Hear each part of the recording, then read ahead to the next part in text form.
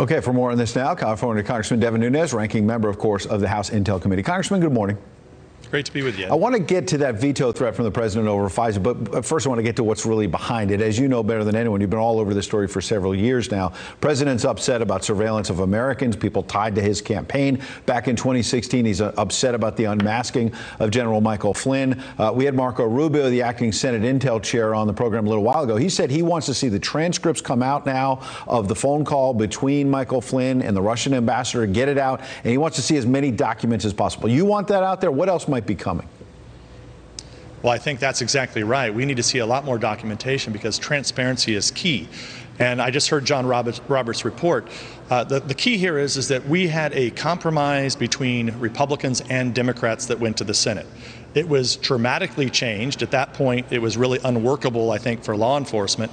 It came back over here to the House of Representatives, where you have to remember the Democrats, for the most part, aren't here. Like a, third of them are not even here because mm -hmm. they're they're going to institute this proxy voting. So we can't even debate. And that's the whole reason to have a legislative branch of government is to debate these issues. Sure. And if we can't debate something as important as as you know spying on American citizens and spying on political campaigns, it really looks like the Democrats right. don't want to be here because of the political problems that they know because their party was directly involved in the in the scandal. Okay, a lot to unpack there, and I'll go through each one, including proxy voting. But let's start with the substance of what the president's alleging, which has gotten him upset and has said, hold up this FISA bill, the surveillance bill. Don't let the government have these surveillance powers until we get to the bottom of what happened in terms of spying surveillance in 2016. Quickly, the president says it's worse than Watergate. What specific crime can you point to that makes this worse than Watergate? well, we've had uh, we've made eight criminal referrals, and so I would say there's two big ones on conspiracy. People conspired to defraud the United States uh, and took away people's uh, rights. So if you take Carter Page, for example, mm-hmm. people conspired to do that. That was a conspiracy by law enforcement. There was lying, there was leaking, there was misleading Congress. Uh, so those are the eight criminal referrals we've already sent on this scandal. Uh, that I believe that uh, John Durham is looking, you know, into this. Uh, you know, we don't know if he's considering our referrals or not.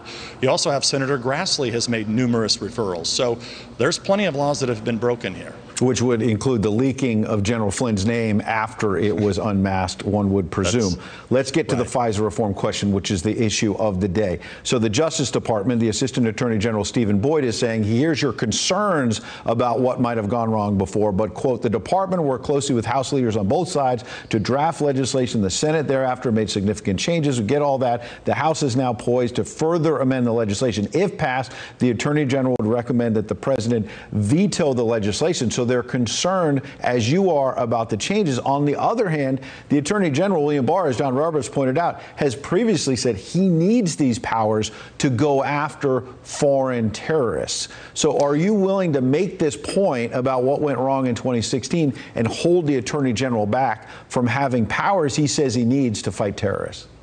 Well, let's try to quickly unpack this. So remember, there's only one specific part of FISA. That's the records component, what was originally called 215. That's the only thing that's up for reauthorization. That's actually gone dark.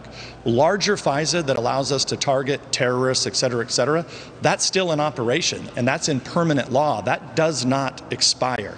And that's, that was the agreement that we made with the Attorney General a couple months ago, uh, was to come to an agreement of something that would actually go back and rewrite that law so that we would have access to uh, the Woods file and all the things that were done uh, in this conspiracy by dirty cops in the Clinton campaign and, and, likely people within the Obama administration.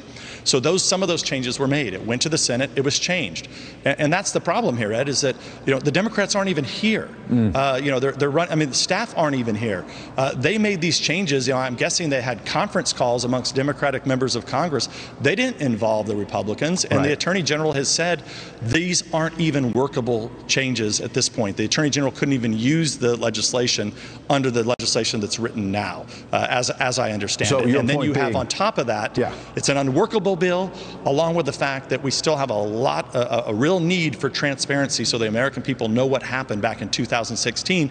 And you have the press who's denying this And then you have Twitter, the t- what I call the tech oligarchs that you were talking about earlier, Yeah. that are that are bringing a whole new wrinkles to this because they're they're essentially editing and censoring what the American people get to see. So we have a lot of serious problems here, and it starts with Democrats needing, needing to be here to work. And you don't believe this is real reform of FISA. Very quickly on proxy voting, you say Democrats are not there. Nancy Pelosi, uh, in terms of your objections to proxy voting, she says House Republicans, sad stunt. The lawsuit you have shows that they're only focus is delay and obstruct urgently needed action to meet the needs of American workers and families during the coronavirus. Got 30 seconds. Your response about why you think she's trying to push through proxy voting and it's not a good idea in your estimation.